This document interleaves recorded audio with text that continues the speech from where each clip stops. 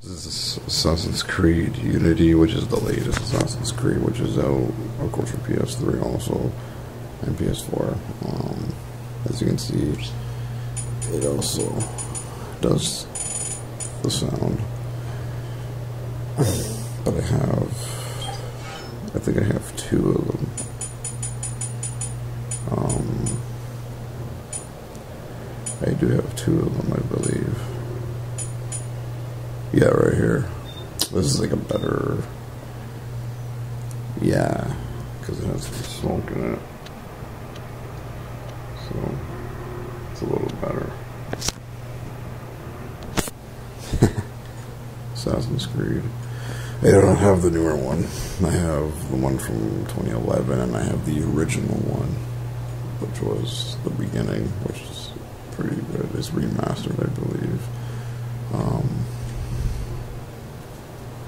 this is Remember Me.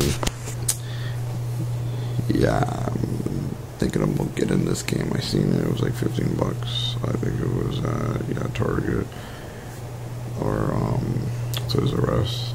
Yeah, I'm thinking I'm getting this. Like, it looks like a it's like a fighting game. It might be a little hard, but it looks like a story kind of game. It looks pretty interesting. So, like maybe uh, I might look into it.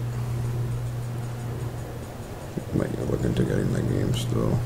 Um, I think the last one, but at least because these are the older ones. Heavy Rain, um, the Mars one, and then the PS4 theme, which I've been using lately. And then this is the last one. Infamous Second Son. Been looking into this game too. Um, there is older Infamous games, but Second Son is like the newer one. It's like you know what I mean? Um, yeah, my sister does play the game, but I might look into it maybe like maybe later the year, in the year, but I'm not sure. I might get it, I might not. But yeah, all depends. So I'm thinking, theme should I use? I'm trying to figure out. Should use Assassin's Creed, Battlefield. I'm just trying to figure out what theme. Or Resident Evil. Yeah. Yeah, I'm gonna mess with that one for now. Resident Evil. I don't know. I might change it up.